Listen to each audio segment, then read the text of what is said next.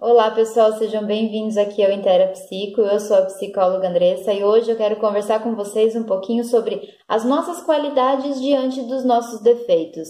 Espero que você goste do vídeo. Se você não é inscrito aqui no nosso canal, aproveita para se inscrever, deixar o seu like no vídeo e ativar o sininho para receber todas as nossas atualizações. Todos nós temos defeitos, não é mesmo? Porém, Diante desses defeitos, quando a gente trabalha o nosso autoconhecimento, é possível que a gente faça com que ele se torne algo positivo na nossa vida. Então, de um defeito, eu posso tirar várias qualidades que vão trazer benefícios na minha rotina, nas minhas relações, enfim, em todas as áreas que permeiam a minha vida. O primeiro perfil que eu vou trazer para vocês é o aventureiro, tá? Quais são as qualidades então que a gente pode encontrar nesse perfil? A pessoa ela tem uma energia muito grande, então ela consegue executar várias coisas em pouco tempo.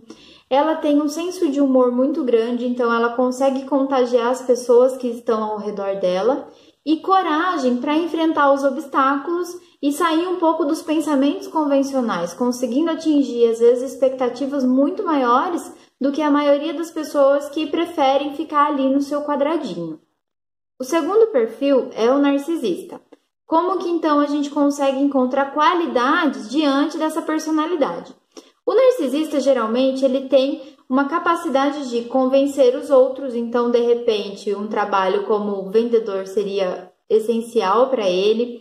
Ele também consegue ter, manter uma, uma autoconfiança uma autoestima diante de situações de rejeição ou desaprovação, porque ele confia em si, ele acredita nele mesmo, né? E confiança e persistência para conseguir atingir os seus objetivos. O terceiro perfil é o, ter, é o perfil dramático, né? Quais são as qualidades? Tendência a ser animado, entusiasmado, namorador. Também é um perfil que tem maior probabilidade de habilidades sociais adequadas, valoriza bastante a sua aparência, então o autocuidado é muito valorizado por ele, tá? E também consegue ser engraçado, contagiando as pessoas, né, por ser expansivo, por ser encantador. O quarto perfil é o perfil tímido, né? Quais são as qualidades do perfil tímido? Ele geralmente tem uma escuta ativa muito boa, então isso é útil tanto no trabalho quanto nos relacionamentos da pessoa ele tem uma tendência a ser mais observador, então ele lembra de detalhes importantes para algumas situações e geralmente esse perfil ele é muito atencioso e sensível. O quinto perfil é o perfil perfeccionista. Ele tem grande capacidade de estabelecer metas e objetivos sempre alcançáveis e realistas, tá? Também possui grande atenção e capacidade de se concentrar nos detalhes do que ele precisa produzir e também método e organização, que ajuda a ser uma pessoa muito mais produtiva. O sexto perfil é o perfil agitado. Quais são as qualidades desse perfil? A capacidade de realização, confiança elevada, consegue também lidar com as adversidades de forma a dar a volta por cima e também possui um perfil animado, né? Tendência a ser divertido, bem-humorado e feliz. O sétimo perfil é o perfil supersticioso. Quais são as qualidades do perfil supersticioso? Geralmente é uma pessoa muito criativa, então para criar coisas novas é com ele mesmo. A inteligência é excepcional e a intuição também ajuda ele a chegar a grandes oportunidades e ter bons resultados. O oitavo perfil é o hiperalerta, que a gente conhece mais como perfil ansioso. Quais são então as qualidades desse perfil?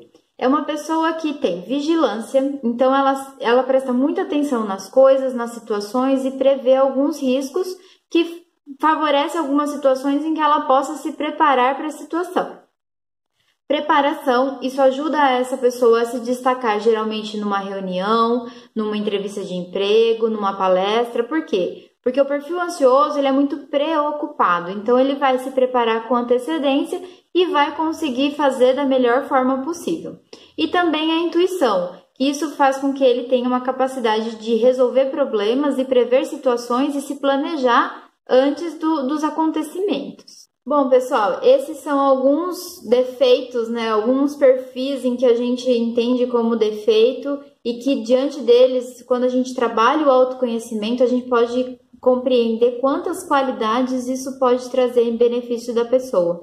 Então, se você se identificou com algum desses perfis, coloca aqui nos comentários e vamos tentar encontrar quais são as qualidades diante dos seus defeitos. Eu espero que você tenha gostado do vídeo. Se gostou, deixe o seu like aqui pra gente, que isso é muito importante na divulgação do nosso trabalho. E até o próximo vídeo.